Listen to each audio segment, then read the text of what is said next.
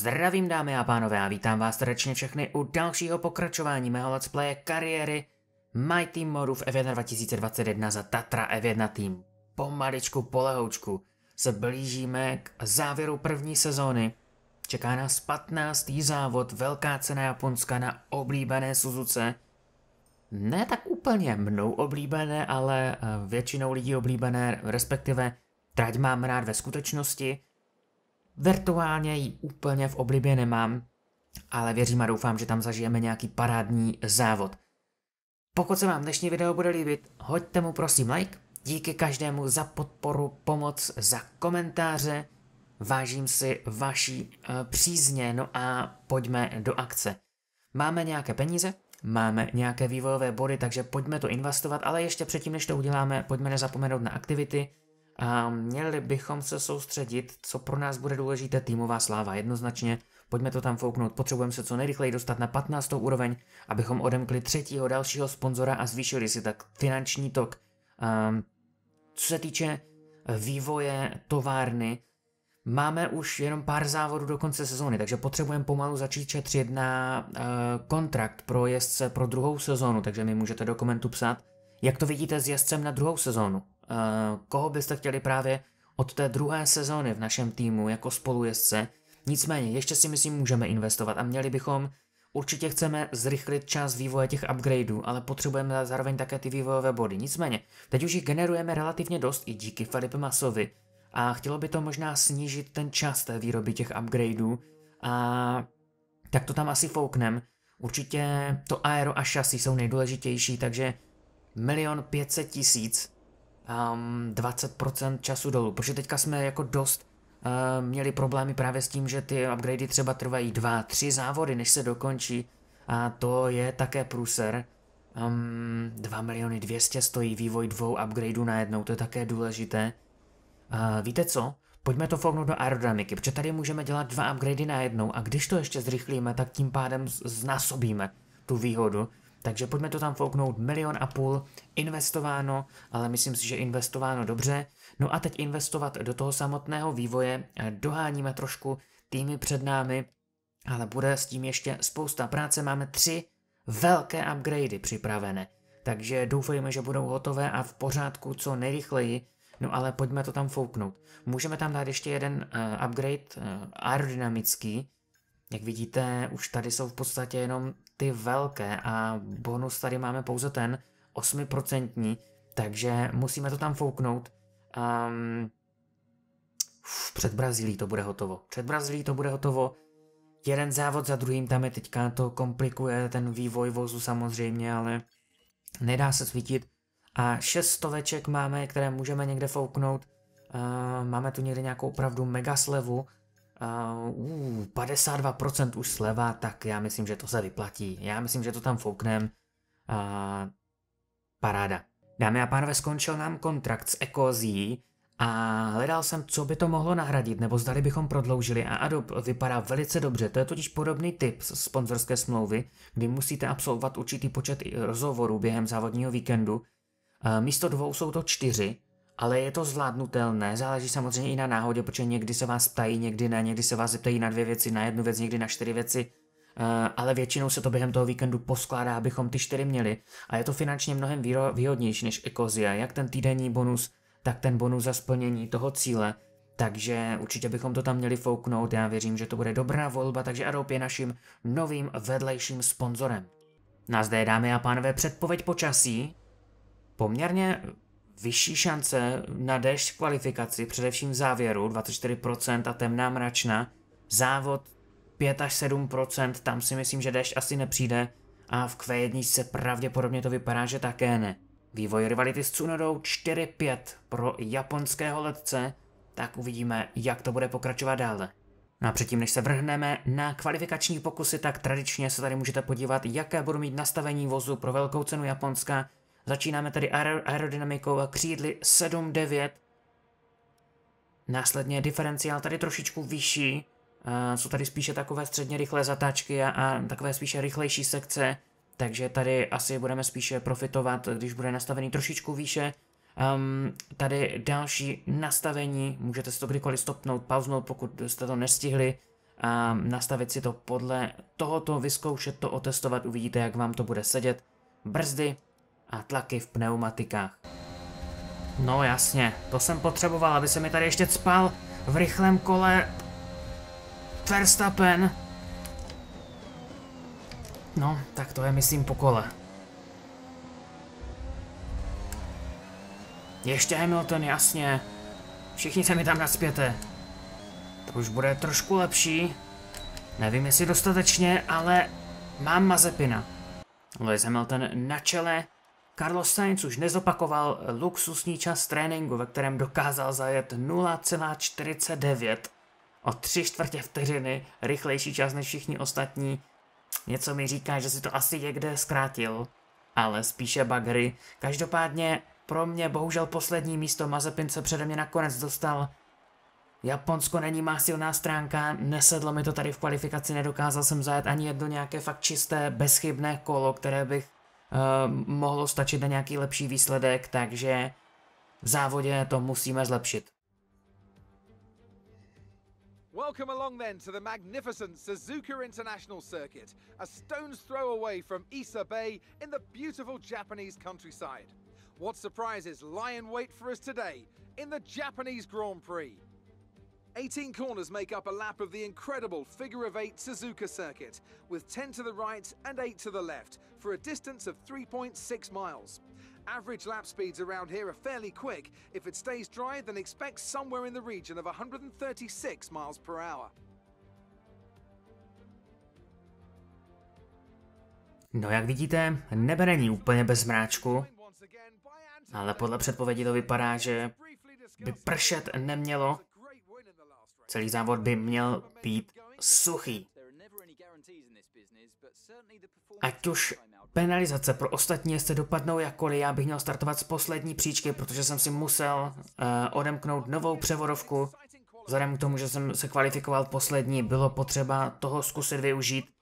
Valtteri Bottas ale na pole position a skvělé druhé místo pro Daniela. Otázka, jestli si to vybojoval vlastní silou, nebo jestli mu to spadlo do klína díky penalizacím. Vypadá to, že tam je několik penalizovaných jezdců, ale ne příliš. Daniel, solidní práce, Tsunoda 8. Šumy na desáté pozici. Russell 12. No, Verstappen zase, ten má penalizace snad na každý závod, on většině startuje z druhé desítky. Vždycky se pak probíjí s tím startovním polem kupředu. Oba Alpiny poměrně nízko. Masa 19. Vettel 20. Norris 21. Tak to je ma masivně úplně rozházené to startovní pole. To bude šílený zmatek. No, a na to jsem úplně zapomněl, dámy a pánové. V podstatě částečně domácí závod, respektive domácí závod pro našeho dodavatele motoru pro Hondu. Takže nechceme tady udělat úplně ostudu. Co se týče strategie, tradičně prostě nám to hlásá podle dát, že bychom měli zvládnout nejměkčí sady, jedna, jedna strat, jeden pit stop. Um, co v tom úvodu, co v tom úvodu, co v tom úvodu. Zkusit to zase trošku protočit, jako jsme to udělali kde? V Singapuru tuším. Um, mohli bychom z toho profitovat, ale nebo taky ne třeba. Ale já myslím, že to zkusíme, takže pojďme začít na tvrdší sadě pneumatik. Zkusíme tedy jedno zastávkový pitstop.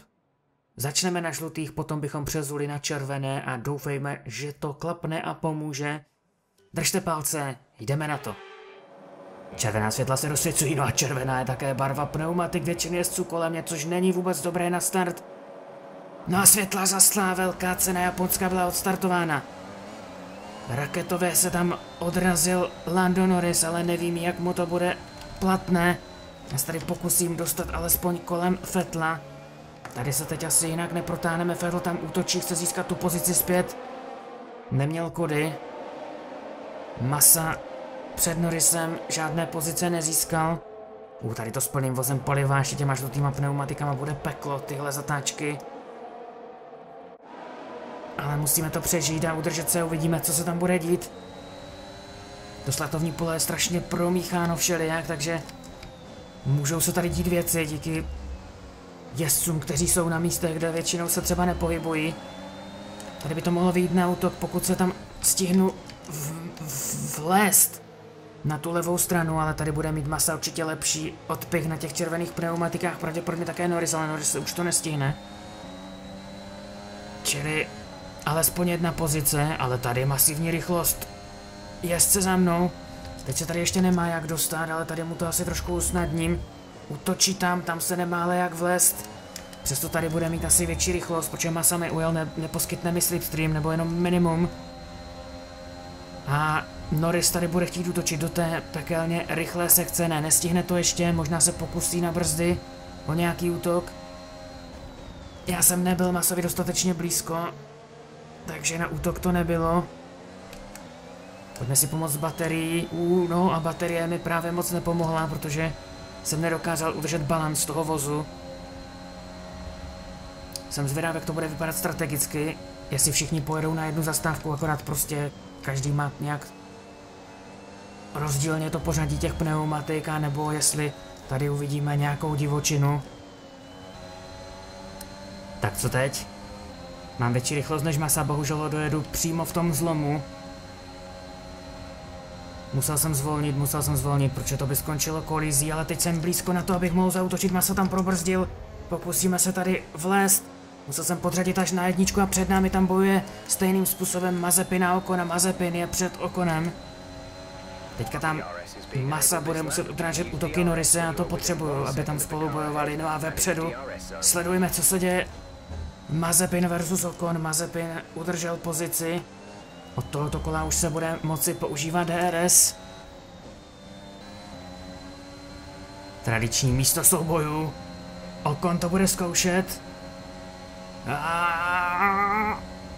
Okon musel zvolnit a teďka tady budeme možná tři vedle sebe, ne? To byla vražda, snažil jsem se tam někde najít skulinku a teďka se tady masivně zpomalují tímto soubojem, to je neuvěřitelná bitva, která už probíhá několik kol, ale bohužel zpomaluje také mě a pomohla Norrisovi. A podívejte se na to, oni jsou stále vedle sebe. O konce dostává před Mazepina nakonec.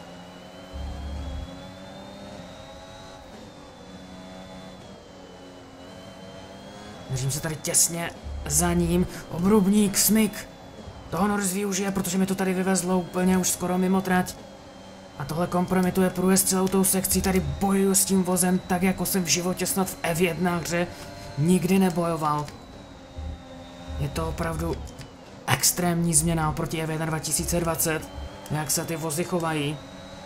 Někdy k lepšímu, někdy k horšímu a tady náznak útoku, ale nebylo to ještě ono. Ten Norris mě štve, zatracená penalizace pro Norrise, ten tady bude otravovat, dokud se přeze mě nedostane. Dobrý výjezd, dobrý výjezd.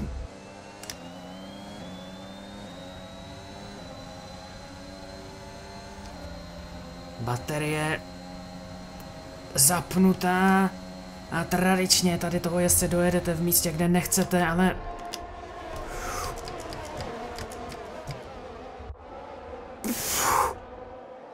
bowling. Ale byl jsem ještě na trati. DRS sklopeno, ale přesto mají oba jezdci za mnou neuvěřitelně větší rychlost. Ani baterie nepomůže, ani DRS.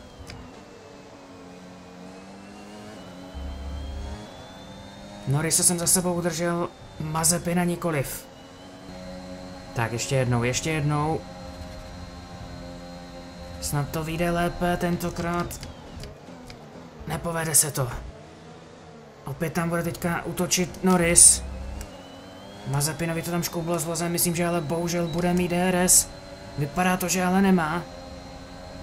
Takže tady bych ho možná mohl stihnout, docvaknout na té rovince, nepodaří se to, ten ház je tady velice, velice rychlý v Japonsku. Nevím, jak to mají nastavené, ale asi opravdu pekelně. O konce dostali přes Latifiho, ten má také skvělé tempo a předjíždí jednou jezdce za druhým. Já tady mám extrémní problémy v téhle první sekci vůbec projet. Za nami bojuje Vettel s Norrisem. Jako přes kopírák. Vždycky se bojuje tady pouze v závěru kola. Nicméně teďka jsme všichni se secvakli do DRS vláčku, i Mazepin už má díky Latifiho DRS. Takže tady jsem se ani nepřiblížil. Moc tady na nějaké útoky v tuhle chvíli nevypadá v této fázi závodu. Zatím pokračuje všech 22 jezdců, žádné problémy jsme neviděli. Ale můžeme počítat s tím, že určitě dříve nebo později skončí Leclerc. Další obrovská bitva s vozem a ztratí. Je to jako se snažit ukočírovat nějakého divokého býka. A máme tady žluté vlajky, yes! Yuki Tsunoda končí. To je můj rival a to jednoznačně potřebuju, protože už mi začíná utíkat v té rivalitě a odstupuje ze závodu. Takže máme jednoho odpadlíka. Jedna získaná pozice. Ale safety car. Zatím nic. A opět další kolo souboju. Latifi mě tam štve. Teď tady mám zase rychlost slušnou, ale tady musíte být velice opatrní, protože jste tak blízko, že když on tam jenom lehce zpomalí, tak můžete být úplně váj, já to tam musím zkusit poslat. Podržet to tady. Pojďme, pojďme. Mám to a teďka tam Norris a Vettel musí tlačit na Mazepina. A ten to tam ideálně musí zkusit nějakým způsobem udržet a my se musíme hnát směrem kopředu. K Latifimu a ideálně před Latifiho vypadá to, že Mazepin ztratí pozici vůči Norrisovi. Je to boj na těch žlutých pneumatikách. Ale potom to bude trošku odměna zase pro změnu na těch červených. A měl bych mít výhodu proti většině ostatních jezdců. Tak pojď, pojď, pojď, pojď, pojď. Teďka by tady Latifi, Latifi neměl moc odporovat. Problém je, že ten hás byl trošku rychlejší a tak jsem ho ne nedocvakl úplně tady v té zatáčce a Latifi ho ano a ten to tam na vnitřku neměl odvahy podržet. Nečekal, že bychom se tam dva mohli vlézt a místo je moje. Ale Norris se udržel za sebou, sice ne na dlouho, protože na rovince půjde určitě před něj. Pokud Latifi nebude mít ode mě DRS, Norris už tam výjíždí ze stopy, útočí a naprosto v pohodice. Se dostává ku předu. Doufal jsem, že to chvíli vydrží, nevydrželo. No a před námi potom Russell.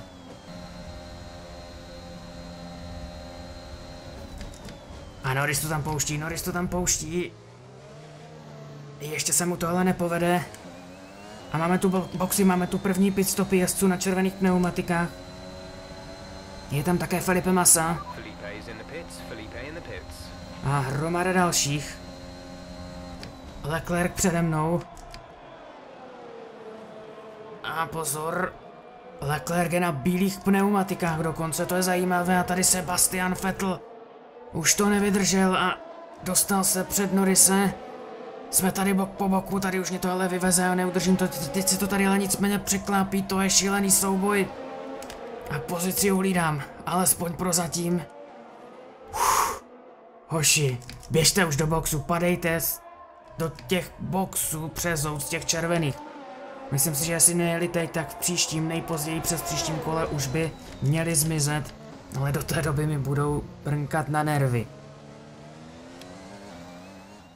Dámy a pánové, deváté kolo a Daniel Ricardo poté, co se na startu dostal na první místo, stále statečně bojuje a drží. Vedení závodu těsně za sebou má nalepeného Valtteriho Bottase, ale DRS, ne DRS, drží ho stále za sebou. Nicméně na těch červených pneumatikách bude muset zajet do boxu a děje se tak právě teď. Bottas první, Perez druhý, Hamilton třetí ti zůstávají na trati a Ricardo přezouvá na bílou sadu a určitě bude se snažit vydržet s tímto až do cíle. Oh no. Oh no. To je špatné. Mezi tím, co tady bojuju znovu s Vettlem a Norrisem. A stále nejedou do boxu, nebo alespoň Vettel nejede. Máme problém s motorem. Máme problém s motorem, dámy a pánové, to bude asi konec. To bude z největší pravděpodobností konec našeho působení ve velké ceně Japonska. Vettel už je přede mnou. Budeme asi pravděpodobně ztrácet výkon.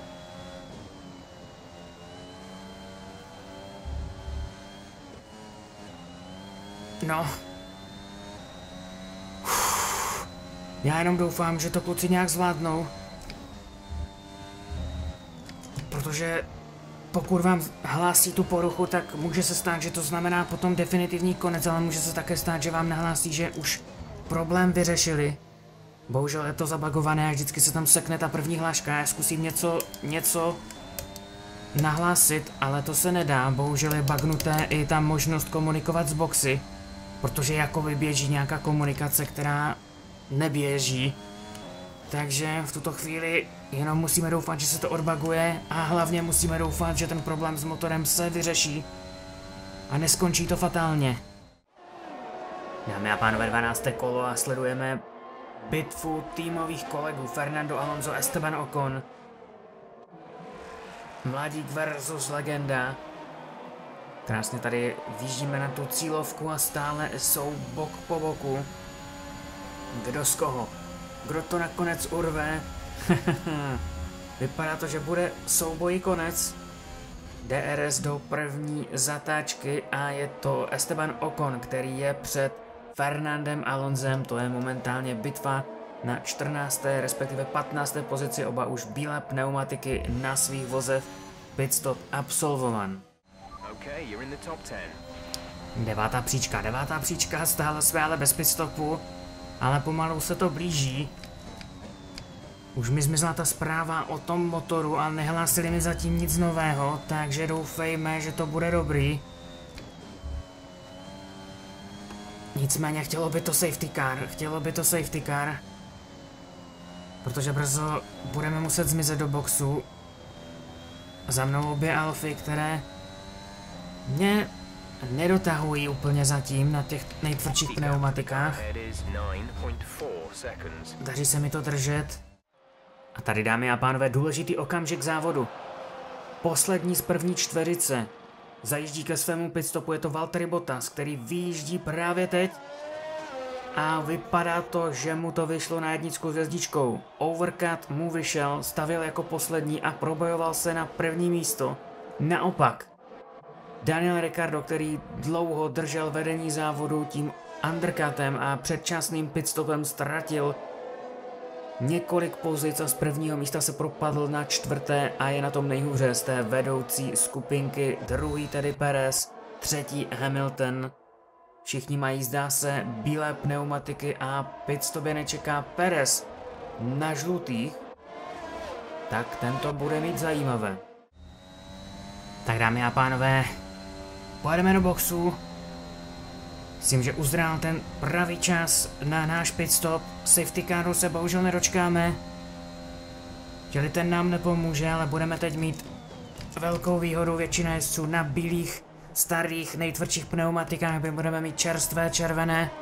Takže pojďme do boxu, samozřejmě se propadneme, ale bude to teďka o té rychlosti. Pozor, tam jsou žluté vlajky na trati, něco se tam děje. To vypadá na nějaký Aston Martin. Končí!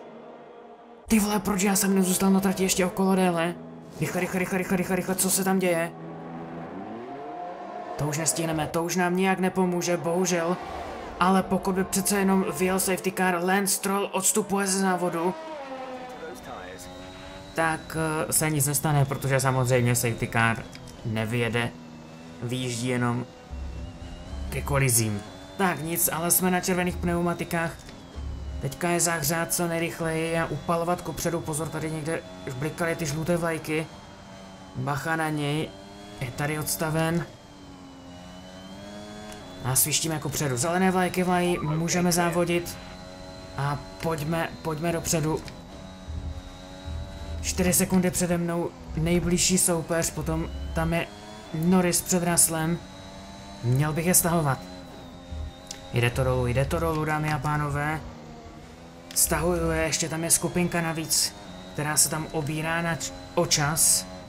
Jak jsou těsně za sebou a bojují spolu, takže to mi také hraje do karet. Teďka jsem to driftnul trošku. Samozřejmě ty pneumatiky, jestli je vyžvíkám, tak v závěru budou na odpis.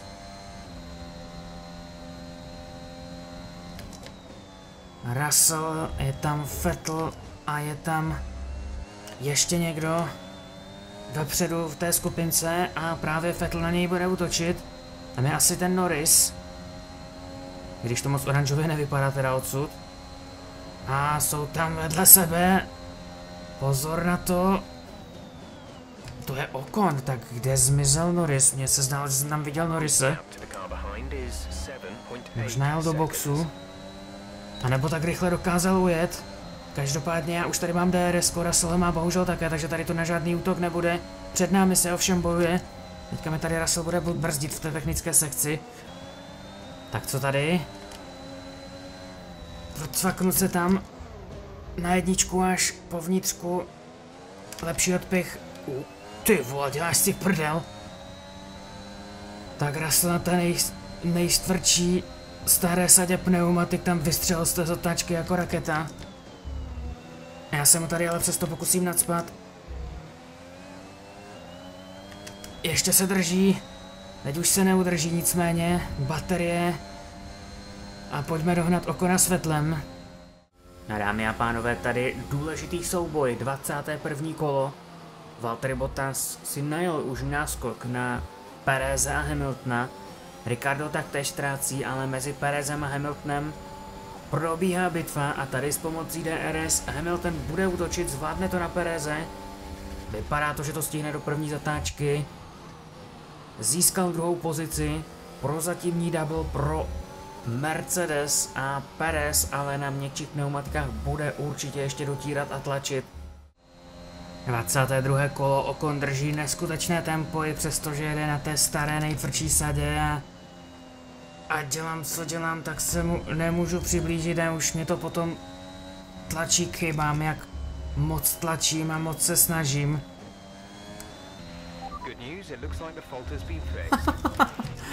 Děkuji za skvělou zprávu, tak před posledním kole nám tady dali do vysílačky Dobrá zpráva, vypadá to, že tu chybu motoru jsme opravili. Super, super, děkuji, nebude nám to ale v podstatě nic platné. Blížíme se do cíle, jsme v předposledním kole, tento závod nebyl kdo ví jaká hit paráda, kdo ví jaké úžasné drama. Co se týče závodu z našeho pohledu, tak uh, našemu vozu to tady na Suzuce nesedí vůbec, tempo jsme neměli v podstatě v průběhu celého závodního víkendu. Navíc uh, safety car, když to jsem to teď udělal, melu a podřazuju, kde nemám. Uh, safety car také žádný, mnohdy nám třeba pomohli safety car a, a štěstí a tak dále. Nyní nic z toho, držíme se na 16. příčce, tempo na jezdce přede mnou prostě nemáme. A blíží se tady bohužel jezdci z čela závodu a už mi tam blikala modrá vlajka. Stihl jsem najet ještě do posledního kola, takže by to neměl být asi problém, protože oni právě teď budou v cíli a závod pro ně končí.